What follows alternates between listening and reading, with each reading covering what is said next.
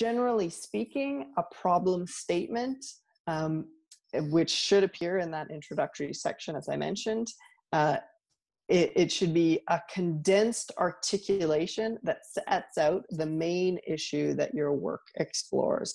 So even though your introduction may be quite long, so it may take you a number of pages and paragraphs to lay out the, the broad field in which your work falls and what some of the other scholars have said and why your intervention into this broad field matters.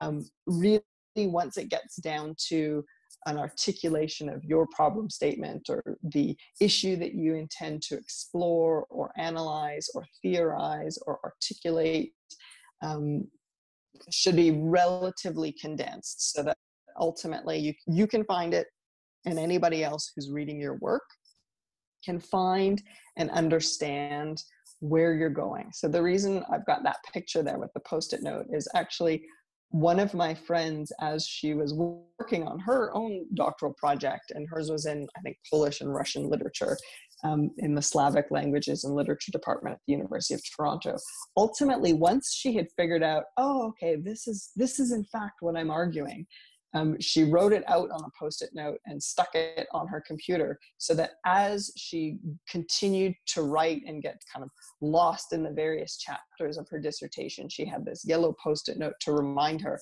oh okay this is the crux of what it is that i'm supposed to be arguing. This is the point that i'm supposed to be making. And so again that can be a helpful tip to highlight you know in one or two sentences what is the real core of what you're going to be analyzing? And again um, uh, just as this is true for a longer doctoral project like a dissertation this is even more true um, for shorter peer-reviewed journal articles that you'll be sending out for consideration for publication. Um, you want to make sure that you are clearly articulating okay this is the intervention that i making into this broad field. This is the piece that I'm offering the world as a whole um, with respect to my research. This is the question I'm seeking to answer. This is the issue that matters to me, however you want to articulate it. You want to be pretty clear um, so that somebody can find that problem statement, that thesis statement, that core argument um, fairly easily in your research project. And so um, one side point about a problem statement is sometimes it only gets better the further along you are into your doctoral project.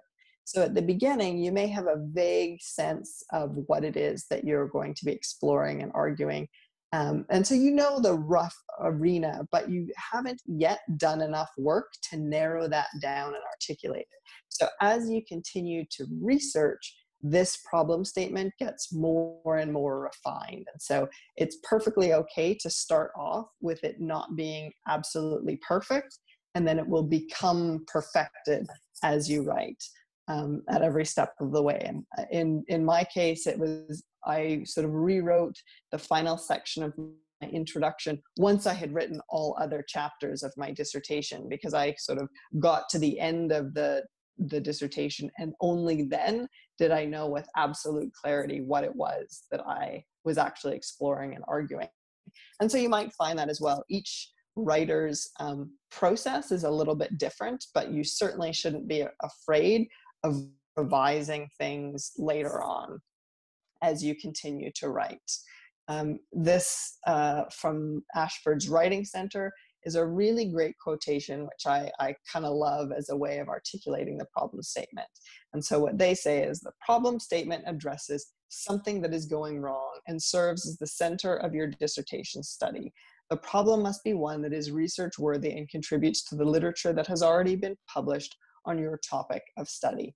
And so I like this quotation because of two things. So, one, this idea that you're addressing something that is going wrong, I find really fascinating because sometimes it's quite hard to figure out um, what the point of a dissertation is, or what should you study, uh, how should you study it, why should you study it, and this idea of looking at something that's going wrong or looking at something that seems puzzling, looking at something that seems troubling, looking at something um, that doesn't seem to make sense. These are all interesting ways into a research problem.